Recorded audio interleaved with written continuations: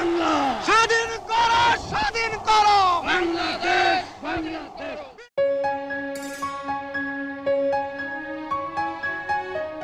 মুজিবনগর স্মৃতিসৌধ। বাংলাদেশের স্বাধীনতা যুদ্ধের স্মৃতি বিজড়িত অন্যতম একটি স্থান হল মেহেরপুরের মুজিবনগর। উনিশশো একাত্তর সালের সতেরো এপ্রিল মেহেরপুরের বৈদ্যনাথ আম্রকাননে বাংলাদেশের অন্তর্বর্তীকালীন সরকার শপথ গ্রহণ করেছিল।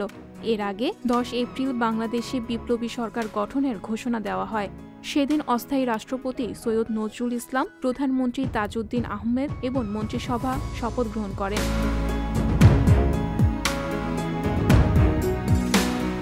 এরপরে বৈদ্যনাথ তলার নাম পরিবর্তন করে রাখা হয় মুজিবনগর। উনিশশো একাত্তরের এই ঘটনাকে চিরস্মরণীয় করে রাখতে উনিশশো সাতাশি সালের সতেরো এপ্রিল সেখানে উদ্বোধন করা হয় এই স্মৃতিসৌধ।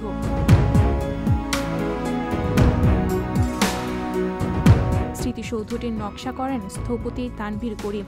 এর স্থাপত্যিক বৈশিষ্ট্য হল একশো ষাট ফুট ব্যাসের গোলাকার স্তম্ভের ওপর মূল বেদিকে কেন্দ্র করে বিশ ইঞ্চি পুরো তেইশটি দেয়াল যা উদীয়মান সূর্যের প্রতীক। সৌধের তেইশটি স্তম্ভ উনিশশো আটচল্লিশ থেকে উনিশশো একাত্তর সাল পর্যন্ত তেইশ বছরের সংগ্রামের প্রতীক। তিরিশ লাখ শহীদের স্মৃতিকে স্মরণ করে রাখতে বসানো হয়েছে তিরিশ লাখ পাথর।